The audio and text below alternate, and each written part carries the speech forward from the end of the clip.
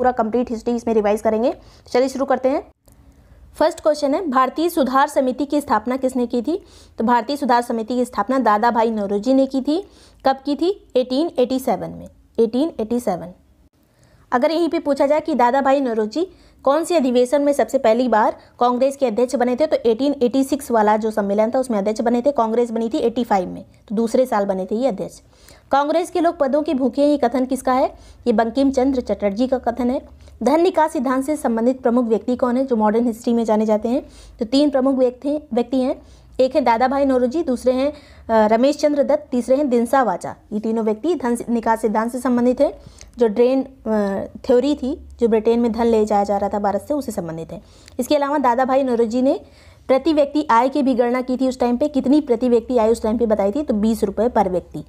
Next है। दादा भाई नौरोजी ने ब्रिटिश हाउस ऑफ़ कॉमन्स का चुनाव किस पार्टी के उम्मीदवार के रूप में लड़ा था? तो ये लड़ा था लिबरल पार्टी की तरफ़ से अट्ठारह में। लॉर्ड कर्जन ने बंगाल विभाजन के निर्णय की घोषणा कब की थी? तो ये घोषणा कब हुई थी? 20 जुलाई 1905 को। 20 जुलाई 1905 को। और ये लागू कब हो गया था ये विभाजन? तो 16 अक्टूबर 1905 को लागू हुआ था। नेक्स्ट है, स्वदेशी आंदोलन की घोषणा कब की गई? 7 अगस्त को स्वदेशी आंदोलन की घोषणा की थी की गई थी 7 अगस्त 1905 में। तो इसी के विरोध में जो बंग भंग वाला ये आया था, ये निर्णय, इसी के विरोध में ये स्वदेशी आंदोलन शुरू हुआ था। नेक्स्ट है। स्वदेशी आंदोलन का विचार सबसे पहले कहाँ प्रस्तुत किया गया था? तो सबसे पहली बार एक पत्रिका में प्रस्तुत हुआ था।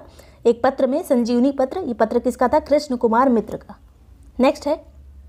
कांग्रेस के किस अधिवेशन में पहली बार स्वराज की मांग की गई थी? उस अधिवेशन के अध्यक्ष कौन थे? तो पहली बार स्वराज की मांग 1906 में की गई 1906 के अधिवेशन में। इसमें अध्यक्ष थे दादा भाई नौरोजी। नेक्स्ट है। अगर पूछा जाए कि दादा भाई नौरोजी कितनी बार कांग्रेस के अध्यक्ष बने हैं तो तीन बार। कांग्रेस के सूरत अधिवेशन 1907 में जो हुआ था, सूरत अधिवेशन, में कांग्रेस के, कांग्रेस दो दलों में विभाजित हो गई थी। इस अधिवेशन के अध्यक्ष कौन थे? तो फिर नर, उन्नीस में जो अधिवेशन हुआ था, उसमें नरम दल और गर्म दल में विभाजित हो गई थी कांग्रेस, जैसा कि आपको पता होगा। और इसमें जो अध्यक्ष थे, वो थे रास बिहारी घोष। नेक्स्ट है। रविन्द्रनाथ टैगोर ने किस आंदोलन के समय प्रसिद्ध गीत अमार सोनार बांग्ला, जो कि आज का बांग्लादेश का राष्ट्रीय गान है, वो गाया था? किस आंदोलन के दौरान? स्वदेशी आंदोलन के दौरान। पूना के उन चापेकर बंधुओं के नाम क्या थे, जिन्होंने प्लेग के समय जातियों के कारण प्लेग अधिकारी रैंड और एयस्ट की हत्या कर दी थी? तो ये दो भाई कौन से थे? दामोदर और बालकृष्ण। ये चापेकर थे। चापेकर बंधु दोनों कहा जाता है। इनके नाम भी पूछे जा सकते हैं। चापेकर बंधुओं में कौन कौन आता है? दामोदर और बालकृष्ण। भवानी मंदिर नामक पुस्तक किसके द्वारा लिखी गई थी? तो भवानी मंदिर पुस्तक लिखी थी 1905 में बरेंद्र कुमार घोष ने। एनी बेसेंट भारत कब आई थी? तो ये नवंबर 1893 में भारत आई थी। अठारह सौ तिरानवे में कांग्रेस की पहली महिला अध्यक्ष कौन थी? एनी बेंस, बेसेंट 1917 में अध्यक्ष बनी थी पहली महिला अध्यक्ष। भारतीय महिला अध्यक्ष पहली कौन थी? कांग्रेस की अध्यक्ष तो सरोजनी नायडू थी जो कि 1925 में बनी थी। नेक्स्ट है अनुशीलन समिति के सदस्य जिन्हें बम बनाने की कला सीखने के लिए पेरिस भेजा गया तो कौन थे? वो थे हेमचंद्र दास कानूनगो। हेमचंद्र दास कानूनगो ये अनुशीलन समिति से संबंधित थे। बम बनाने की कला सीखने के लिए पेरिस गए थे। बी डी सावरकर ने अभिनव भारत नामक एक संस्था स्थापित की थी और ये कब बनी थी संस्था? 1904 में। अभिनव भारत संस्था के किस सदस्य को बम बनाने की कला सीखने के लिए पेरिस भेजा गया था? तो पेरिस दोनों लोग गए थे।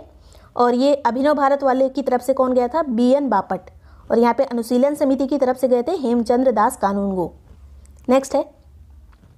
बाल गंगाधर तिलक को भारतीय शांति का जनक किसने कहा है? वेलेंटाइन सिरोल ने। नेक्स्ट है। तिलक के प्रयासों से गणपति और शिवाजी उत्सव मनाने की शुरुआत कब हुई? तो गणपति उत्सव उन्नीस सौ तिरानवे में शुरू हुआ था, शिवाजी उत्सव उन्नीस सौ पंचा, अठारह सौ पंचानवे, उन्नीस सौ तिरान, अठारह सौ तिरानवे और अठारह सौ पंचानवे। नेक्स्ट है। क्रांतिकारी पत्र काल का संपादन किसने किया था? तो काल का संपादन परांजपे ने किया था। खुदीराम बोस को फांसी कब दी गई थी? तो ये सबसे कम एज में फांसी देने वाले व्यक्ति हैं। फांसी नहीं मिली थी सबसे कम एज में। 11 अगस्त 1908 में इन्हें फांसी दी गई थी। कहाँ पे? आ, किस कारण से? तो मुजफ्फरपुर में एक जज किंग्सफोर्ड की हत्या के प्रयास में इन्हें फांसी दी गई थी। लेकिन ये मरे नहीं थे बम किसी और के ऊपर गिर गया। एक थे कैनेडी एक अधिकारी थी अंग्रेज़ अधिकारी उनकी पत्नी और बेटी इसमें मर गए थे और वो इंडियंस को सपोर्ट करते थे। नेक्स्ट है। लंदन में इंडियन होम रूल लीग की स्थापना किसने की थी? तो श्यामजी कृष्ण वर्मा ने की थी 1905 में। Indian Home Rule League London वाली की स्थापना किसने की? श्यामजी कृष्ण वर्मा ने 1905 में। मुस्लिम लीग का गठन कब हुआ था? तो 30 दिसंबर 1906 में। 30 दिसंबर 1906 ढाका में हुआ था, बांग्लादेश के ढाका में। मुस्लिम लीग का प्रथम अधिवेशन कब हुआ था? तो मुस्लिम लीग का पहला अधिवेशन हुआ था 1908 में, अमृतसर में हुआ था। इसके अध्यक्ष कौन थे? आगा खां। विलियम कर्जन वायली की हत्या किसने की थी? मदन लाल ढींगरा ने 1909 में की थी। विलियम कर्जन वायली की हत्या मदन लाल ढींगरा। 23 दिसंबर 1912 को वायसराय लॉर्ड पर बम फेंकने के लिए किसको फांसी दी गई थी? तो इसमें कई व्यक्ति हैं। एक है मास्टर अमीचंद को फांसी हुई थी। अवध बिहारी लाल को फांसी हुई थी। बाल मुकुंद को फांसी हुई थी। बसंत कुमार विश्वास को फांसी हुई थी। तो मास्टर अमीचंद, अवध बिहारी लाल, बाल मुकुंद, बसंत कुमार विश्वास, ये नाम ऐसे ही रट लेने हैं। नेक्स्ट है, गदर पार्टी की स्थापना सैन फ्रांसिस्को यूएसए में कब और किसने की? तो एक नवंबर 1913 में स्थापना हुई थी, कहाँ पे? सैन फ्रांसिस्को में। कौन थे? इसके मेन जो हेड थे, लाला हरदयाल। नेक्स्ट है कोमा गाटा मारू जहाजी जापानी जहाज़ को किसने किराए पर लिया था? उसके बाद ये लेके सभी को कनाडा गए थे तो बाबा गुरुदत्त सिंह ने। बाबा गुरुदत्त सिंह ने इसको किराए पे लिया, उसके बाद कुछ एशियाई व्यक्तियों को जिसमें भारतीय भी शामिल थे, उनको लेके कनाडा गए थे, जहाँ से उनको वापस कर दिया गया था। तो ये घटना कब की है? 1914 की। महात्मा गांधी जी को कैसरे हिंद की उपाधि कब मिली? 1915 में। जब ये प्रथम विश्व युद्ध चल रहा था तो बहुत से भारतीयों को इन्होंने सेना में भर्ती करवाया था, इसीलिए इन्हें ये उपाधि मिली थी। बाद में इन्होंने वापस कर दी थी। जलियावाला बाग हत्याकांड जब हुआ था, कैसरे हिंद वापस कर दी। बाल गंगाधर तिलक ने होम रूल लीग की स्थापना कब और कहाँ की? तो ये पूना में की थी। दो होम रूल लीग थी एक बाल गंगाधर तिलक वाली और एक थी एनी बेसेंट वाली। एनी बेसेंट वाली की स्थापना मद्रास में हुई थी, बाल गंगाधर तिलक के जो होम रूल थी, उसकी स्थापना पूना में हुई थी। तो पहले कौन सी बनी? पहले बाल गंगाधर तिलक वाली बनी थी 28 अप्रैल 1916 को। बाद में इसी ईयर में बनी थी एनी बेसेंट वाली। नेक्स्ट है। एनी बेसेंट ने होम रूल लीग की स्थापना कब की? सितंबर 1916 में, कहाँ पे? मद्रास में। तो अगला क्वेश्चन यही था। गांधी जी ने सत्याग्रह का सर्वप्रथम प्रयोग कहाँ पे किया था? दक्षिण अफ्रीका में। भारत में सत्याग्रह का पहला प्रयोग कहाँ पे किया गया? 1917 में, चंपारण में। चंपारण, बिहार में, जहाँ पे तिनकटिया व्यवस्था को खत्म करने के लिए प्रयास किया गया था गांधी जी के द्वारा। एनी बेसेंट ने होम रिलीज़ को समाप्त करने की घोषणा कब की थी? तो ये 20 अगस्त 1917 में समाप्त करने की घोषणा की थी। नेक्स्ट है, अहमदाबाद के टेक्सटाइल लेबर एसोसिएशन की स्थापना किसने की? महात्मा गांधी ने 1918 में। ट्रस्टीशिप का सिद्धांत किसने दिया था? ये महात्मा गांधी ने दिया था। ताकि मज़दूरों को ज़्यादा से ज़्यादा प्रोटेक्शन दिया जा सके जो मालिक होते हैं उनसे। All India Trade Union Congress की स्थापना कब और किसने की? तो एन एम जोशी ने की थी इसकी स्थापना। नारायण मल्हार जोशी पूरा नाम है। और ये स्थापना कब हुई थी? 30 अक्टूबर 1920 को। इसके पहले अध्यक्ष कौन थे? लाला लाजपत राय। लाला लाजपत राय। स्थापना की थी एन एम जोशी ने। अध्यक्ष कौन बने थे? लाला लाजपत राय। इसमें कन्फ्यूज़न नहीं होना चाहिए। महात्मा गांधी ने पहली बार भूख हड़ताल किस आंदोलन के दौरान की थी? तो पहली बार भूख हड़ताल अहमदाबाद मिल मजदूर हड़ताल के दौरान की थी 1918 में हुआ था। कर नहीं आंदोलन, गांधी जी द्वारा कब चलाया गया? तो 1918 में चलाया गया था खेड़ा आंदोलन के दौरान। तो ये तीनों याद होना चाहिए, पहले चंपारण हुआ था, उसके बाद अहमदाबाद मिल हुआ था, फिर खेड़ा हुआ था। तो ये लगभग 1917 में हुआ था चंपारण 1918 में हुआ था अहमदाबाद मिल 1918 में ही हुआ था खेड़ा आंदोलन। नेक्स्ट है रोलेट एक्ट कब लागू किया गया? तो ये 19 मार्च 1919 को लागू किया गया था। जलियावाला बाग हत्याकांड, जो कि 13 अप्रैल 1919 को हुआ था, बैसाखी वाले दिन। इस समय पंजाब का लेफ्टिनेंट गवर्नर कौन था? तो था माइकल ओ डायर और इसका साथ किस भारतीय ने दिया था, जिसकी वजह से ये हमला हुआ था? यहाँ पे गोलीबारी हुई थी तो हंसराज एक जो था, व्यक्ति गद्दार, और ये मिल गया था माइकल ओ डायर से। नेक्स्ट है जलियावाला बाग के दौरान हुई भीषण तबाही के बाद विरोध स्वरूप क्या क्या हुआ था? क्या क्या चीज़ें उस टाइम पे हुई थी, पूछी जा सकती हैं। शंकर नायन ने वायसराय की कार्यकारिणी परिषद से इस्तीफा दे दिया था। शंकर नारायण वायसरी वायसराय की कार्यकारिणी परिषद में शामिल थे, इन्होंने इस्तीफा दे दिया। गांधी जी ने कैसरे हिंद की उपाधि वापस कर दी। जमला लाल जमुना लाल बजाज ने राय बहादुर की उपाधि वापस कर दी। रविंद्रनाथ टैगोर ने सर की उपाधि वापस कर दी। तो ये उपाधियाँ याद रखनी किसकी, कौन सी थी? नेक्स्ट है। जलियावाला बाग हत्याकांड की जाँच कमेटी के सदस्य कौन कौन थे? तो इसमें पाँच अंग्रेज़ शामिल थे। इसका नाम क्या था इस कमेटी का? तो हंटर कमेटी इसका नाम था। पाँच अंग्रेज़ थे इसमें और तीन भारतीय थे।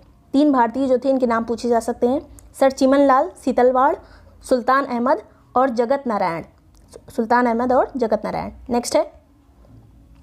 कांग्रेस द्वारा जलियावाला बाग के जाँच के लिए निर्मित आयोग के अध्यक्ष कौन थे? तो दो कमेटी बनी थी, एक कांग्रेस की तरफ़ से, एक अंग्रेज़ों की तरफ़ से। तो जब अंग्रेज़ों की तरफ़ से बनी हंटर कमेटी तो उसमें पाँच अंग्रेज़ थे और तीन भारतीय थे। और इसमें जब कांग्रेस ने बनाया था तो इसके अध्यक्ष कौन बने थे? मदन मोहन मालवीय, जो कि इसके अध्यक्ष थे। और दो और व्यक्ति थे, महात्मा गांधी और मोतीलाल नेहरू। तो मदन मोहन मालवीय, महात्मा गांधी और मोतीलाल नेहरू, अध्यक्ष कौन थे? मदन मोहन मालवीय। नेक्स्ट है, खिलाफत आंदोलन कब मनाया गया? तो उन्नीस अक्टूबर 1919 को मनाया गया था। आंदोलन नहीं खिलाफत दिवस। नेक्स्ट है असहयोग आंदोलन की पुष्टि कांग्रेस के किस अधिवेशन में की गई? तो ये नागपुर अधिवेशन में की गई थी पुष्टि असहयोग आंदोलन की 1920 में। उसके बाद ये शुरू कब हुआ था? असहयोग आंदोलन 1 अगस्त 1920 में। असहयोग आंदोलन से असहमत प्रमुख व्यक्ति जिन्होंने कांग्रेस छोड़ दी तो कुछ लोग असहमत थे। मोहम्मद अली जिन्ना उस, उसमें शामिल थे। एनी बेसेंट को भी ये पसंद नहीं था विपिन चंद्र पाल को भी पसंद नहीं था। तो ये तीनों लोग एंटी कांग्रेस वाले थे एंटी असहयोग आंदोलन वाले थे। नेक्स्ट है असहयोग आंदोलन को कब स्थगित किया गया? तो 11 फरवरी 1922 को स्थगित किया गया था, चौरी चौरा कांड के बाद, जो कि 4 फरवरी 1922 को हुआ था चौरी चौरा, कहाँ पे? गोरखपुर में।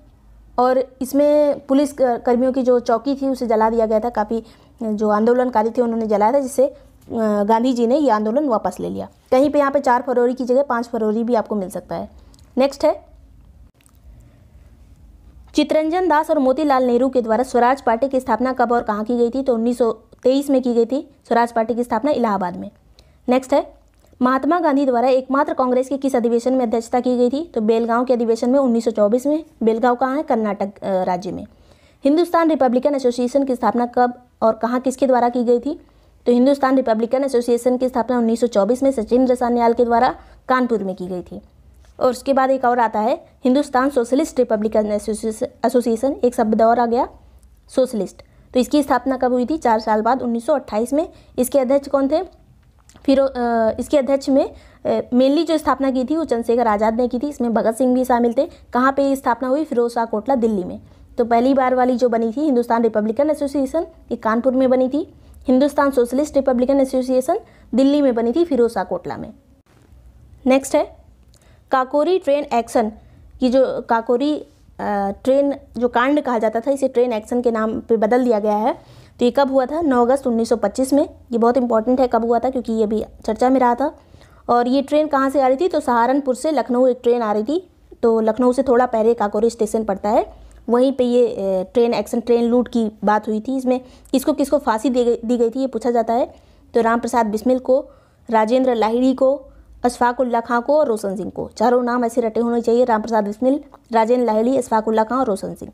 आजीवन कैद इसमें किसको मिली थी? सचिंद्र सान्याल को।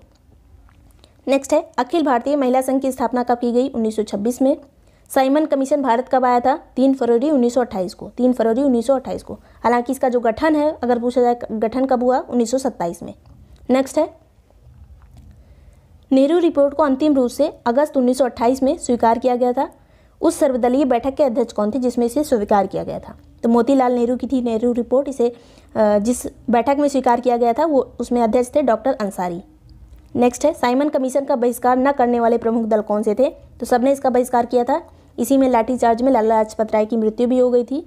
तो इसमें किसने बहिष्कार नहीं किया था? जस्टिस पार्टी ने, पंजाब यूनियनिस्ट यूनियनिस्ट पार्टी ने। तो ये दोनों पार्टी याद रखनी है।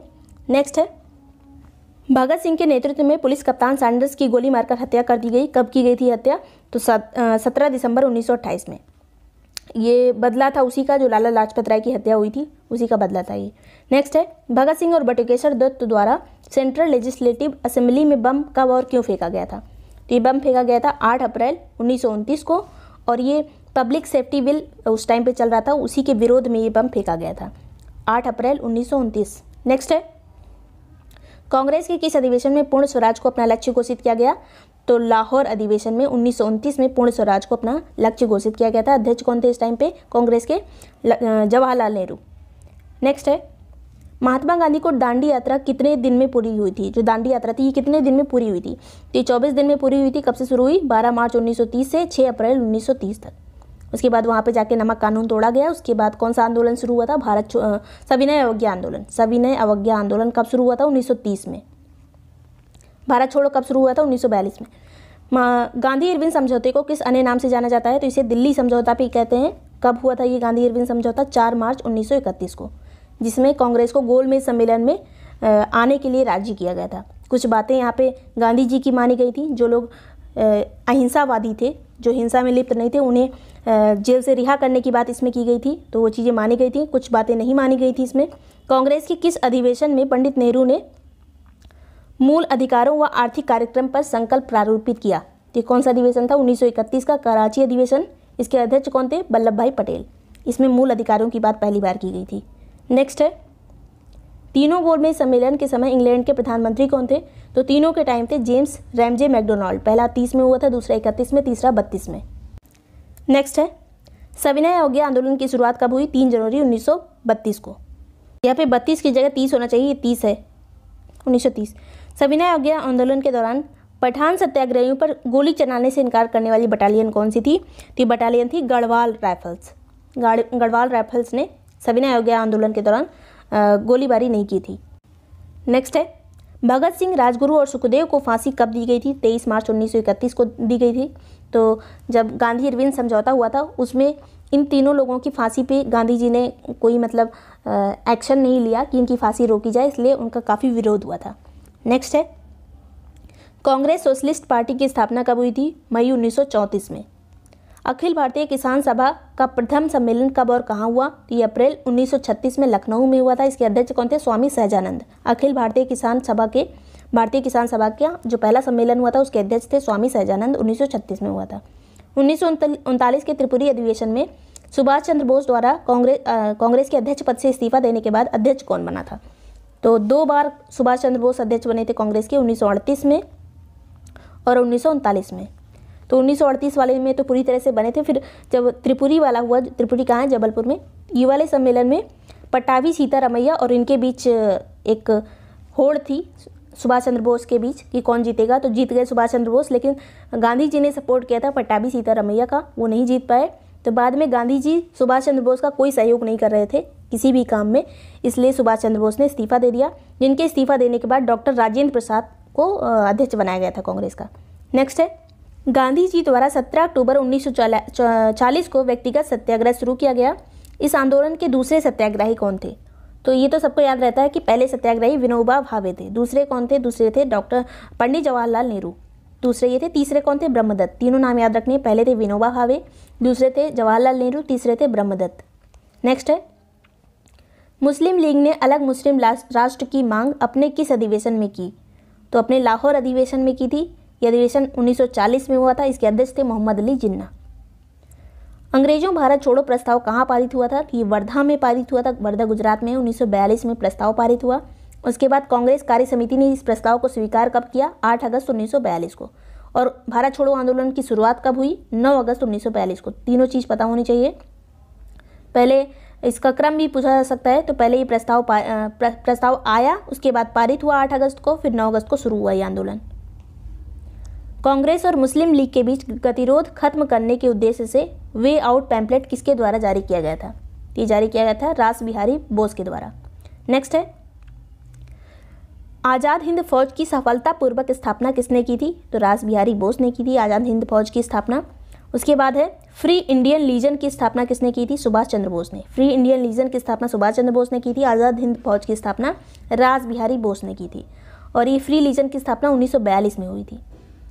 21 अक्टूबर 1943 को सुभाष चंद्र बोस द्वारा स्वतंत्र भारत की स्थायी, अस्थायी सरकार का गठन सिंगापुर में किया गया। इसका समर्थन किसने किया था? तो एक सरकार सिंगापुर में सुभाष चंद्र बोस के द्वारा 1943 में ही बना दी गई थी। इसका सपोर्ट जर्मनी और जापान ने भी किया था। नेक्स्ट है। अक्टूबर 1943 में सुभाष चंद्र बोस के आज़ाद हिंद फौज के अध्यक्ष बनने के बाद इसके ब्रिगेड का नाम क्या क्या था? इसमें जो ब्रिगेड बनाई थी उन्होंने, सुभाष चंद्र बोस में, इसमें कौन कौन शामिल थी ब्रिगेड? एक थी सुभाष ब्रिगेड, एक थी गांधी ब्रिगेड, एक थी नेहरू ब्रिगेड, एक थी लक्ष्मीबाई रेजिमेंट। तो जो महिलाएँ थीं, वो लक्ष्मीबाई रेजिमेंट में थी। तो महिलाएँ भी इसमें शामिल थी आज़ाद हिंद फौज में, जब सुभाष चंद्र बोस बोस इसके अध्यक्ष बने थे।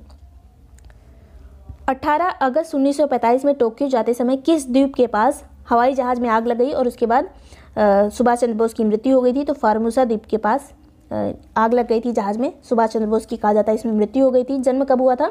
तो जन्म हुआ था तेईस जनवरी अठारह सौ सत्तानबे में। कटक में हुआ था। कटक कहाँ उड़ीसा में। आज़ादी हिंद फौज के गिरफ़्तार अधिकारी कौन कौन से थे? तो इसमें पी के सैगल थे गुरुदयाल ढिल्लन थे, शाहनवाज खान थे। तीनों नाम रटे होने चाहिए। इसी को कहा जाता है लाल किला मुकदमा, जो 1945 में लाल किला मुकदमा चला था। इसमें कौन कौन शामिल थे? पी के सहगल गुरुदयाल ढिल्लन, शाहनवाज खान।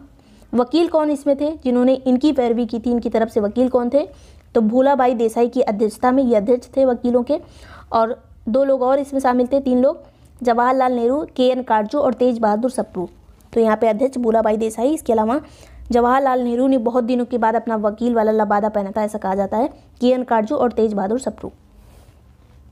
वायुसेना का विद्रोह कब हुआ था? 20 फरवरी 1946 में। नौसेना का विद्रोह कब हुआ था? 19 फरवरी 1946 में। तो पहले नौसेना का विद्रोह हुआ, उसके बाद एक दिन बाद वायुसेना का भी विद्रोह हुआ था। कैबिनेट मिशन के सदस्य कौन कौन थे? तो तीन सदस्य थे, Pethick Lawrence, Stafford Cripps, A V Alexander ये कब आया था कैबिनेट मिशन? 24 मार्च 1946 में। मुस्लिम लीग द्वारा प्रत्यक्ष कार्यवाही दिवस कब मनाया गया? तो ये 16 अगस्त 1946 को मनाया गया था कलकत्ता में। भारत विभाजन की माउंट बेटन योजना कब प्रकाशित की गई? तीन जून उन्नीस सौ सैंतालीस को। नेक्स्ट है। माउंट बेटन के विभाजन के विरोध में प्रमुख व्यक्ति कौन कौन थे? तो जो माउंट बेटन कह रहे थे, विभाजित होगा देश। इसके विरोध में डॉक्टर किचलू थे, पुरुषोत्तम दास टंडन थे, मोहम्मद हजीफुर हफीज़ुर रहमान थे नेता चौथराम थे। तो प्रमुख व्यक्ति यही थे जो विरोध कर रहे थे, क्योंकि लास्ट में सभी लोग मान गए थे, विभाजन पे एग्री हो गए थे, क्योंकि काफ़ी लड़ाई, झगड़ा होता अगर विभाजन ना होता तो गांधी जी वगैरह और जितने जवाहरलाल नेहरू, सरदार पटेल सब लोग मान गए थे लास्ट में, लेकिन इतने लोगों ने विरोध किया था। भारतीय स्वाधीनता स्वाधीनता विधेयक ब्रिटिश संसद में कब पेश किया गया? तो ये चार जुलाई उन्नीस सौ सैंतालीस में पेश किया गया था, और पहले ये हाउस ऑफ़ कॉमन्स में गया था, जैसे लोकसभा और राज्यसभा होती है तो वैसे लोकसभा को वहाँ पे हाउस ऑफ़ कॉमन्स बोलते हैं। तो वहाँ पे पंद्रह जुलाई को पारित हुआ था। फिर हाउस ऑफ़ लॉर्ड्स जो राज्यसभा की तरह होता है, वहाँ पे सोलह जुलाई को पारित हुआ। फिर सम्राट के इस पर हस्ताक्षर कब हुए? अट्ठारह जुलाई को। उसके बाद हमारा देश आज़ाद कब हुआ? पंद्रह अगस्त उन्नीस सौ सैंतालीस को। पहले एक दिन पहले पाकिस्तान बन गया था, चौदह अगस्त उन्नीस सौ सैंतालीस में। नेक्स्ट है, स्वतंत्रता प्राप्ति के समय कुछ और चीज़ जान लीजिए। कांग्रेस के अध्यक्ष कौन थे? उस टाइम पे जेबी कृपलानी थे। ब्रिटेन के प्रधानमंत्री उस टाइम पे कौन थे? तो लेबर पार्टी के क्लाइमेट एटली थे। फिर भारत के पहले स्वतंत्र और अंतिम भारतीय गवर्नर जनरल कौन थे? तो ये थे सी राजगोपालाचारी उसके बाद फिर राष्ट्रपति वाला सिस्टम आ गया था उन्नीस में। पहले राष्ट्रपति राजेंद्र प्रसाद बने थे, पहले प्रधानमंत्री जवाहरलाल नेहरू। तो ये चीज़ें इंपॉर्टेंट थी। वीडियो यूजफुल लगा तो लाइक और सब्सक्राइब कर दीजिएगा। Thank you so much watching break time classes